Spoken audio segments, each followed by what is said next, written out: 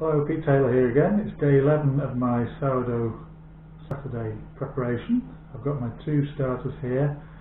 Um, they've both been fed within the last 24 hours, but um, the, the rye has sort of erupted today, so there's, uh, for the first time in 11 days, I've got something smelling quite unpleasant from the, uh, the rye. It's got a vinegary, pungent smell to it today, so that definitely wants to be cut right back again today and um, I'll feed them both again.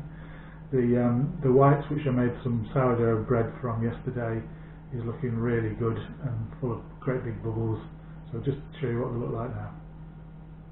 So here's the rye, it's looking fair enough but um, it doesn't smell too good so that's the one that I'm going to be um, cutting back very vigorously today.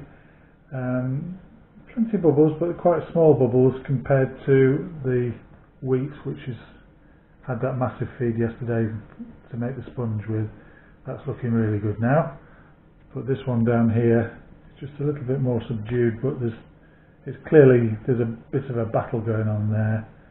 So I'll I'm just going to feed it and encourage it to get on with the job. Plenty of time to go, but it's it's still in the process of settling down. A rye starter is a very volatile thing. It does take a little while to settle down.